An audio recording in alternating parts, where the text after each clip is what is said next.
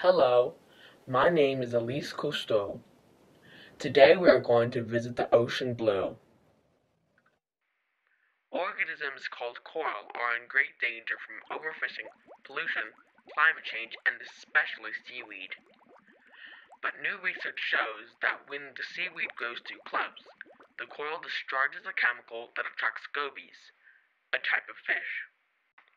As the seaweed brushes against the coral, it releases a poison that can slay an animal within days. In less than two weeks, the coral begins to discolor and even die where the seaweed rubbed against it.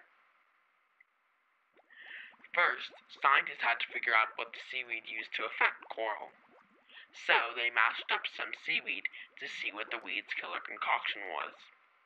It turned out to be chemicals known as terpenes, which some algae use to sicken fish that feed on them. Some seaweed is so nasty that most fish avoid it on sight. Thanks to this nasty weed, we've lost about 80% of living coral in the Caribbean and 50% in the western Pacific. Biologists realized that a 5 inch long fish had been nibbling back the seaweed at the coral's distress call. When the coral releases the chemical, gobies react and act like little hedge trimmers. By doing this, the gobies also benefit. Biologists knew that the fish produce a poisonous mucus to protect themselves. When the gobies snack on seaweed, they make a stronger poison that acted twice as fast on predators. And so, in this way, gobies protect coral and themselves.